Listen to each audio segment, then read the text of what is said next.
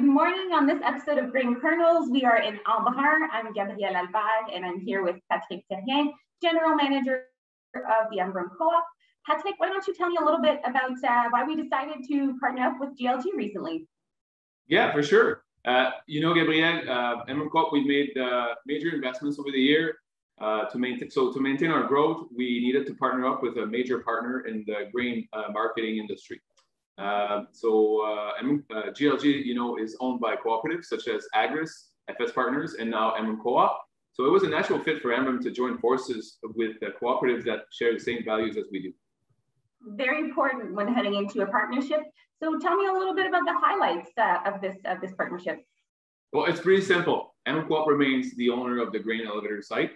Uh, employees remain Embrun Co-op employees. Embrun Co-op gets to sit on the GLG board uh, market position and grain inventory are owned by GLG. So uh, it's pretty simple partnership. We're pretty happy with it as well. Great. And on the membership side, what are some of the benefits for our members? Well, the main objective was to bring added value to the, the products and the services that we already offered. So we strongly believe that uh, we have the tools such as Cornerstone to help our customers better uh, go to market. Uh, you know, Gabriel, as uh, in today's competitive market, uh, be a mistake to start thinking about grain prices only at harvest. So with Cornerstone, we can come up with a, a personalized customer customer transaction report, and, and then uh, and then work on a pricing strategy for our customers.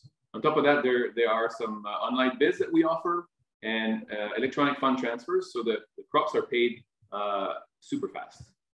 Yeah, those are definitely all tools that uh, I feel strongly about, and I love to telling telling our customers about and sharing with them. So thank you for taking the time and uh, have a great day.